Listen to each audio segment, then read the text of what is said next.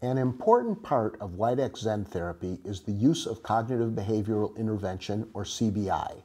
CBI is based on the cognitive theory concept, which states that an event, like tinnitus, leads to automatic thoughts which are often negative and not based on evidence, and which subsequently lead to emotions such as hopelessness, fear, depression, or anxiety, which serve to sustain the distress related to tinnitus.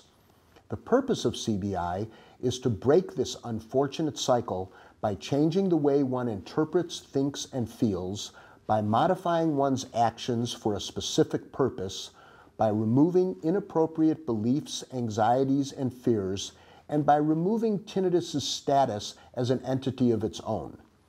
To do this, the therapist must help the patient identify automatic negative thoughts, which are also known as cognitive distortions or thought errors, and behaviors, challenge the validity of these thoughts and behaviors, and assist the patient to construct alternative thoughts and behaviors.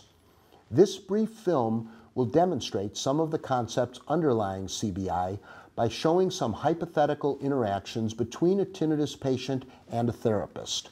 While the scenarios have been arranged to illustrate how the therapist might achieve the goals just stated, it should be noted that the statements made by the patient are extremely representative of those commonly encountered in real-life tinnitus management sessions.